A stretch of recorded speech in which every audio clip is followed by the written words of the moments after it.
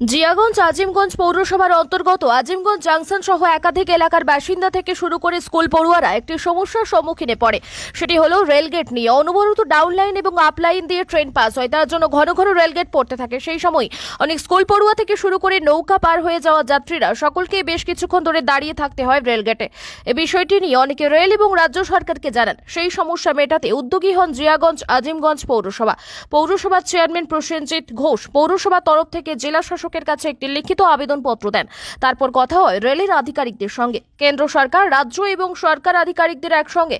সেই এলাকায় গিয়ে বিষয়টিকে খতিয়ে দেখেন এবং বিকল্প পথকে কি বার করা যায় সেটাও তারা ভেবে দেখবেন। পূর্বের পরিকল্পনা মতো রেলের আধিকারিক ও রাজ্য সরকারের আধিকারিকরা একসঙ্গে মিলিত হয়ে আজিমগঞ্জের বাসুলিতলা রেলগেট এবং সিটি রেলগেট এলাকাগুলিতে ঘুরে দেখেন। সেখানে উপস্থিত ছিলেন আজিমগঞ্জ জাংশন স্টেশনের এইএন অনিল প্রসাদ রবি দাস মুর্শিদাবাদ জেলার আরটিও শুভেন্দু জিয়াগঞ্জ আজিমগঞ্জ পৌরসভার পৌরপিতা প্রসেনজিৎ ঘোষ সহ বিভিন্ন আধিকারিক এবং আজিমগঞ্জ বিশিষ্ট কিছু ব্যক্তিবর্গগান জিয়াগঞ্জ আজিমগঞ্জ পৌরসভার পক্ষ থেকে সাবওয়ে করার মতামত দেওয়া হয়। তাতে সারা মেলে রেলের আধিকারিকদের এবং মাপযোগ করা হয়। আগামী সাত দিনের মধ্যে রিপোর্ট পাঠানো হবে এবং রেলের তরফ থেকে ব্যবস্থা নিয়ে কাজ শুরু করা হবে। এই খুশির খবর শোনার পর আজিমগঞ্জ সহ একাধিক এরিয়ার বাসিন্দারা খুব খুশি হন। আমরা দীর্ঘদিন ধরেই চেষ্টা করছিলাম যে একটা সাবওয়ে করা হোক। যাতে আজিমগঞ্জের মানুষ এপার ওপার যাতায়াত করতে পারে কারণ আমাদের মধ্যে গঙ্গা আর তার মধ্যে রেল, গঙ্গার এপার ওপার মিলিয়ে আমাদের পৌরসভা সবসময় মানুষকে এপার ওপার দুপার যেতে হয়। স্কুল আছে, হসপিটাল আছে, সমস্ত কিছুতে খুব অসুবিধার মধ্যে পড়তে হচ্ছিল। যে রেল রেল গেট বন্ধ হলে দীর্ঘক্ষণ বন্ধ থাকতো, সেই জায়গায় আমরা রাজ্য সরকারের কাছে আবেদন করেছিলাম।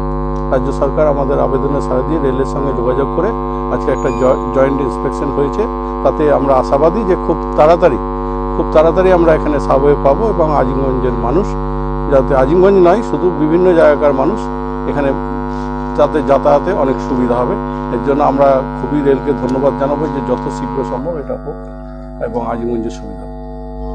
आज ज्वाइंट सर्वे सभी सभी रिप्रेजेंटेटिव आकर के ज्वाइंट इंस्पेक्शन मैंने किया गया और ज्वाइंट सर्वे किया गया और इसका रिपोर्ट बना करके डिवीजन में भेजा जाएगा अभी तक फिजिकली जो आपने सर्वे किया उससे तो क्या ये मुमकिन है या फिर हाँ मु- मु- मु- मुमकिन है ये फिजिबिलिटी बुझा रहा है कि मैंने काम मैंने होगा। फिर अब तो डबल लाइन भी कनेक्ट अभी भी नहीं हुआ है। उत्तर कटवा की तरफ़ डबल लाइन जब कनेक्ट होगा तभी तो उसके बाद ये ट्रेन का भी चाप पड़ेगा। तो ये लोकल लोगों उस का जो हाँ उसके लिए पब्लिक लोग को बहुत आराम बहुत मैंने सुविधा मिल-